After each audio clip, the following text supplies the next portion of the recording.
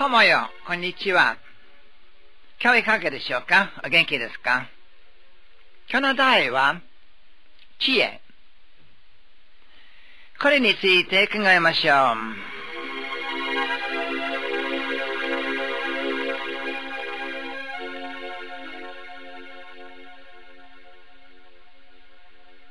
知恵と知識とは違いますね。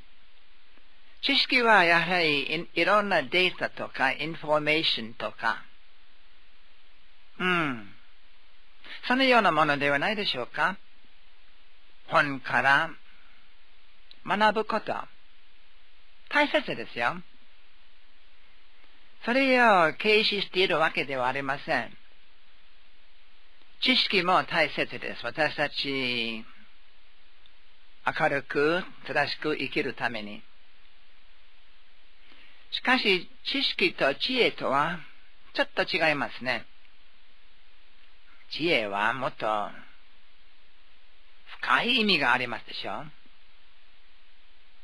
物事をありのままに把握する。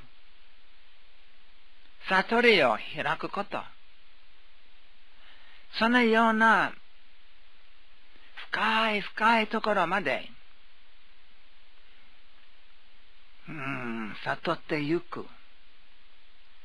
それは知恵だと思いますね。それができるためには、やはり謙虚さが大切と思いますね。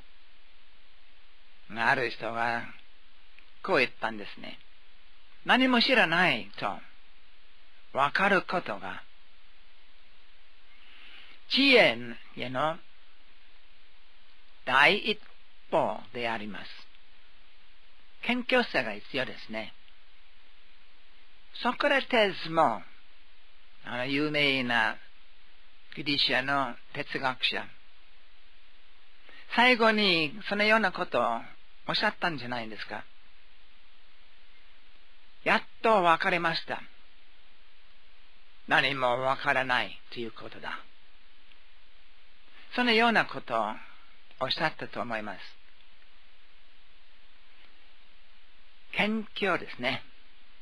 やっぱり、それは知恵への第一歩です。では、また明日お会いしましょう。明日まで。さようなら。